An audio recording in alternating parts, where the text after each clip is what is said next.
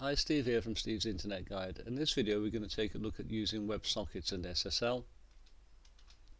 Now I've covered configuring Mosquitto uh, to use SSL and to use WebSockets in earlier videos and tutorials and if you haven't actually watched those videos or read those tutorials then I recommend you go and do that before you continue with this video because we're not going to go into the detailed configuration and testing of SSL and WebSockets uh, because I say I've, I've um, covered that elsewhere. Now I'll put the links to those tutorials and videos below this video so you can uh, access them quite quickly. But in this video we're going to configure Mosquitto to use both WebSockets and SSL together.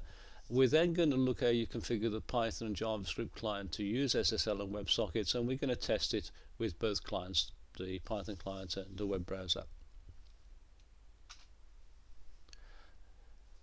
Okay, the first step is to configure the Mosquitto broker. And here's the configuration here, a very simple configuration. Now, I'm going to use port 8081 for the port. Now, this port is going to be using WebSockets and SSL together. Um, protocol is WebSockets. And I'm setting a HTTP directory. This is optional here, and I use this for quick testing. And I've placed a file in that that's server directory, a very simple HTML file. Now, when you actually configure WebSockets or tell the Mosquitto broker to support WebSockets, it basically gives you access to a web server. And we can very simply just connect to that web server using the browser, and that tells us WebSockets is working. And if we have to connect to that web server using uh, HTTPS as opposed to HTTP, it tells us the secure sockets layer is working, and I'm going to show you that um, when we look at the testing part of it. And here is our configuration for configuring SSL and I say that's covered in the um, setting up SSL on Mosquitto uh, video and tutorial. Now we just start the broker and this is what we see when we start the broker and it's listening on port 8081 which is our WebSockets and SSL port combined. Now we make some simple changes to the Python client to test it and all we do is add these two lines in here, tell it to use WebSockets and tell it to use the certificate. And now we can test it with a Python client to make sure it works. And we can test it using our web browser by using HTTPS server name. Now, when you do this, when you connect to the web server like this, uh, if you're using a uh, self-signed certificate or a certificate that you've created yourself like I'm doing, and then you might get a, a little nag screen telling you it doesn't trust the certificate and all you have to do is override that. And I'll show you a, a screenshot of that screen a bit later on. Uh, so it's nothing to worry about.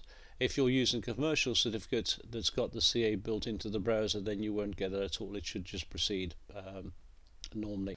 Now we can test using the JavaScript client. We need to make a couple of changes to the sorry a couple of changes uh, usually just one change to the client and that's to add this into the MQTT connect function. And this client the actual complete code for this client is available for download on the site. And again I'll put the link in in the video below the video. And all you need to do is say is add that to the connection function. You can see it here now you may also need to change the server name uh, for the host um, depending on how it's configured on the server certificate and in my case I use the name Steve Laptop and not the IP address so I had to modify the script like this so to use the Steve Laptop rather than the actual IP address. If you don't do that then it will throw an error message and won't work.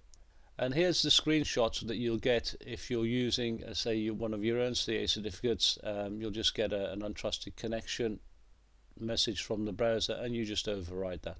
Let's uh, just test this. And I'll test it first with the uh, Python client, then we'll use the JavaScript client. So here's my Python script, and it's just simply just going to publish a, a message. And I'm using, here is the, sorry, port 8081. And here are the two settings that are important. There I tell it to use WebSockets and I give it the certificate. And then I run the script. So let me just run the script. So I'm connecting to the broker it connected okay subscribe to the topic publish the data got the data back and disconnected. So that's how Python uh, script work. And I say I'll make this script available. It'll be on the downloads page for the for this video uh, testing it with a JavaScript client. And uh, here's a JavaScript client here and I'm using Steve's laptop as the host name. I'm using 8081 as the port and I set SSL to be true down here. So now all I need to do is open up this um, web page and it's on my local machine. It doesn't need a, a web server so I just double click it and then that goes and connects to the Mosquitto broker using WebSockets over SSL. Now you can't see much here. We need to go into developer and web console and we can see here it's connected to Steve's laptop on 8081 and there it is connected and if you look at the script it just basically calls the connection and once it's connection connected it's connecting to and then the message connected. That, that's all it does. Okay now let me just edit this and we'll um, remove that just to show you it's working or not working. So we save it and we go back to here and we refresh it and we get an error message which is what we expect.